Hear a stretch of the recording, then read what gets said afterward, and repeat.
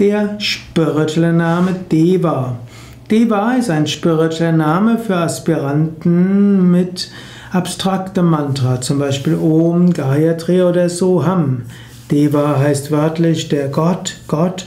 Deva hat auch was mit Leuchten zu tun. Wenn du Deva heißt, dann heißt das, du willst das Göttliche durch dich leuchten lassen. Man könnte auch sagen, Deva ist auch Engel.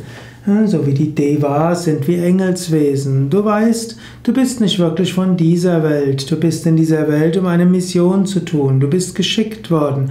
Göttliche Kraft will durch dich leuchten und du willst auf dieser Welt deine Mission erfüllen. Und du willst dann wieder zur höchsten Erkenntnis kommen. Du stammst nicht von dieser Welt, du stammst vom Göttlichen. Du bist hier, um eine Aufgabe zu erfüllen, nicht hier zu versumpfen, zu versacken und zu festzukleben.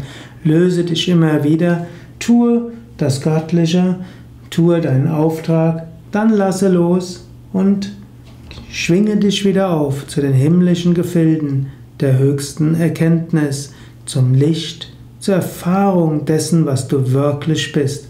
Eins mit der Weltenseele, reines Bewusstsein.